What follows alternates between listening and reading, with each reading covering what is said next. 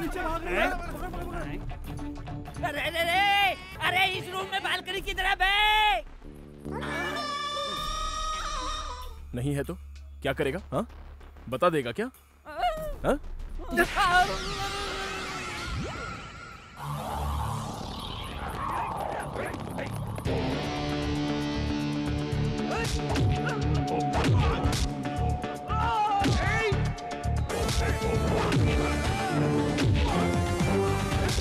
जल्दी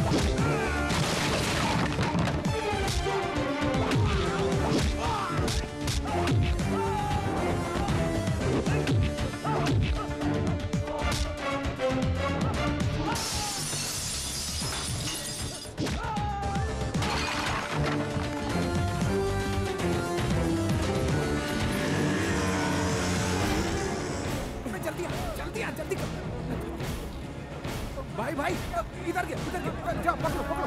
हाँ, जल्दी कर चल बैठ बैठ।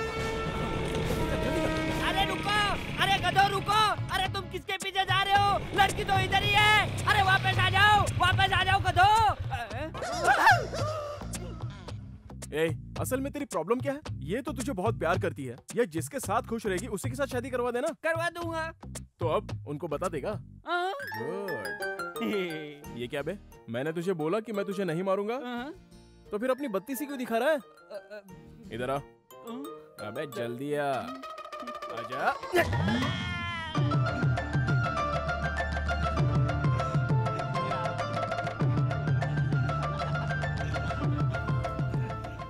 हे तुम दोनों के परिवारों को मानने के लिए कम से कम एक हफ़्ता तो लगेगा। तब तक तुम दोनों कहीं बाहर घूम कर क्यों नहीं आ जाते? ऑल द बेस्ट यार। थैंक यू यार। अरे यार देखना चिट्टी रो रहा है। क्या हुआ? पता नहीं। क्या हो गया? ये लोग जा रहे हैं इसलिए तू उदास है। तो फिर? तो फिर पार्टी नहीं मिली इसलिए। नहीं यार। ए बात क्या है पता? अरे ये कोई लाइफ है यार। हर कोई लड़की सेट करके खुशी खुशी हनीमून मनाने जा रहा है। ये कंजूस भी नौकरानी की बेटी को सेट करके शादी कर लेगा। अब मेरा क्या होगा? अबे कौए क्या मतलब? तू कबूतर है क्या? अबे लड़कियों को पटाना बहुत इजी है। चल बताता हूँ। तू रोज अगर एक लड़की को आई लव यू बोलेगा हाँ। तो पूरे महीने में तू तीस हाँ? लड़कियों को अप्रोच करेगा। अच्छा। तीस में से पंद्रह को तुझे देखती एलर्जी हो जाएगी। अरे समझ लेना। और बाकी की पाँच ऑलरेडी कहने के ही सेट होंगी ठीक है? हाँ। और बाकी के चार किसी पॉलिटिशियन गुंडे या पुलिस वाले की बहन होंगी समझ ले। तो हाँ। उनकी तरफ़ तो तू खुद ही नहीं जाएगा। हाँ। बाकी बची चार वो किसी और का इंतज़ार कर रही होंगी समझे? हाँ। और बाकी बची लड़की अपनी चाहत का इजहार ही नहीं कर पाएँगी। और लास्ट में जो लड़की बचेगी वो तुझे आई लव यू बोल ही देगी। हाँ मतलब इस हिसाब से साल में बारह लड़कियाँ पट ही जाएँगी बच्चे। मतलब पाँच साल में साठ लड़कियाँ? ए तू जो बोल रहा है वो सुनने में तो अच्छा लग रहा है लेकिन प्रैक्टिकली सही नहीं है।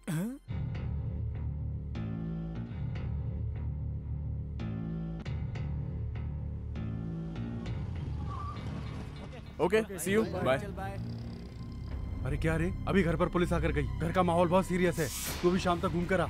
शंभू अंकल नहीं है क्या? है, है। अरे अरे सुन ना मैं बात करता हूँ तू रुक। तूने ये क्या काम किया? अरे तेरे पास दिमाग है कि नहीं? ऐसी बात नहीं है तू अपना मुँह बंद कर।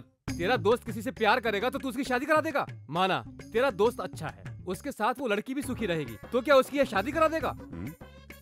फ्रेंडशिप की खातिर तेरे बाप ने भी मंडप से तेरी चाची को उठाकर मेरी शादी करवाई थी। अब तू भी उसी रास्ते पर चल रहा अक्कल नहीं तुझमें। तुझे लड़ने की क्या ज़रूरत थी? अरे अपने पापा से कहता। वो खुद ही उसे भगाकर उसकी शादी करवा देते। सही बोल रहा हूँ ना भाई? अगर तू इसी तरह करता रहेगा तो मैं कैसे अपनी बेटी का हाथ तुझे दूँगा? हाउ? How can I? अरे मुझे पता है कि मेरे होटल के बिज़नेस को संभालने वाला तू ही है। लेकिन इससे तो कुछ भी नहीं होगा ना भाई। देख तुझे और और और मेहनत करनी पड़ेगी। बोलिए ना चल अब निकल। ठीक नहीं बोला? हाँ ठीक है तू जा। लगता है भाभी ने बिरयानी बनाई है। वो हम सब खा लेंगे तू निकल अब यहाँ भाभी नाराज़ हो। गई तो। तुझे जाने को बोला ना? तू क्या सुन रहा है? चल निकल। अरे शीनू तुझे याद है? जब मैं होटल का मैनेजर था तो अपने सामने स्वीट का होटल था। तब मैं हरदम तुझसे कहता था कि अगर मेरे पास पाँच रुपया होता तो मैं हलवा खाता। अब मेरे पास पैसा है लेकिन मैं खा नहीं सकता। इसीलिए मैं कहता हूँ हर काम समय के हिसाब से कर लेना चाहिए। हम्म, समझ गया मैं चल। हाँ? चल जा। अरे मैं सही बोला ना? आना नहीं, अरे तू रोकना मैं और समझाता हूँ। अरे जैसा तू समझ रहा है मेरा दामाद वैसा नहीं है। वो दारू सिगरेट हाँ, भी नहीं पीता है। अरे सुन तो सही। हम्म, चल। छोटी चाय देना तो। क्या हुआ? मुझसे नाराज़ हो क्या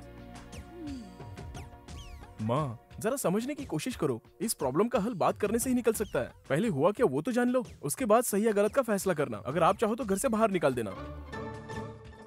ठीक है। दुल्हन ने अपने हाथों से ये लेटर लिखा है। प्रॉब्लम का हल इसे पढ़ने से निकलेगा। बेचारी वो लड़की। रो रो कर कह रही थी कि उसे वो लड़का पसंद नहीं। ये शादी उसे नहीं करनी। फिर भी किसी ने उसकी नहीं सुनी, उसने दूल्हे को कहा तो दूल्हे ने उसका गला पकड़ कर कहा, तू उससे प्यार करती है तो मुझे कोई प्रॉब्लम नहीं। उसके साथ रात गुजारे तो भी प्रॉब्लम नहीं। उसका बच्चा तेरे पेट में तो भी प्रॉब्लम नहीं। लेकिन शादी तुझे मुझसे ही करनी पड़ेगी। समझ गई ना? आगे सुनो माँ। उस बेचारी को कुछ सूझा नहीं तो उसने कहा, भैया, मुझे बचा लो। और मैं उसे बचाने चला गया माँ।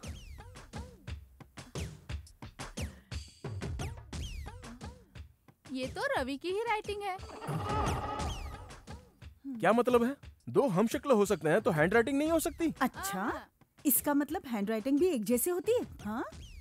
हम्म, नहीं, तुझे तो हाँ? भाभी मत मारो। हमसे झूठ बोलता है? नहीं भाभी हाँ? अब भी बताती हूँ। हाँ, अरे अरे अरे क्या हुआ क्या हुआ? लगा तो नहीं? कहा लगा दिखा? क्या हुआ? क्या हुआ तुझे?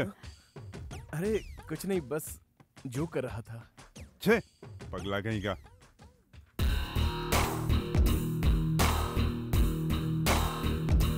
नमस्ते भाई साहब।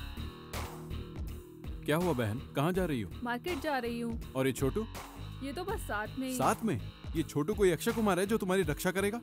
अरे देखो तुम अपनी रक्षा खुद कर सकती हो ना? अच्छा जाओ ठीक है भैया।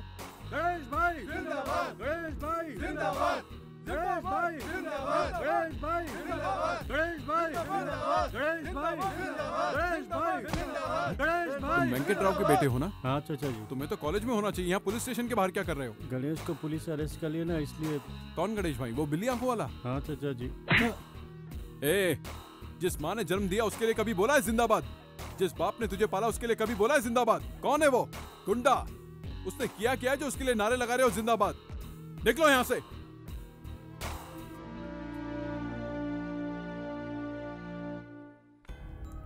अबे कौन है जो इतना बोल के चला गया? तू जानता क्या इनके बारे में? ये हमारे रामू के पिताजी हैं। जब से हमारे रामू ने सुसाइड किया तब से ये ऐसा बर्ताव करने लगे हैं। जब भी रामू का कोई दोस्त गलत काम करते दिखता है वो ऐसे क्लास लेते हैं। पता नहीं कौन अब फंसेगा। अपना थोबड़ा नहीं देखा मुझे लाइन मार रहा है। कभी न कभी इसे मज़ा चखाऊँगी। शाम को पिक्चर देखने नहीं आए तो मैं यहीं पे जान दे दूँगा। छी?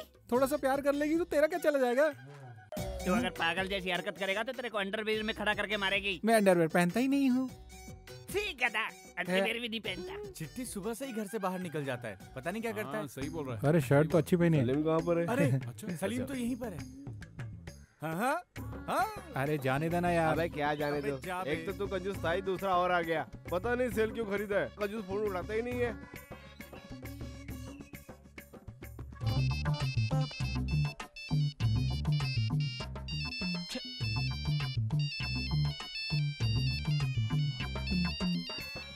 हेलो कौन बोल रहा है? अरे सुब्बाराव पैसे ले गया लड़कियाँ नहीं भेजी।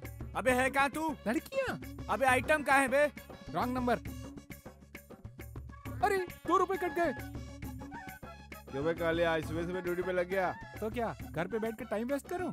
इतने सालों से लाइन मार रहा हूँ पर एक भी लड़की पटी नहीं।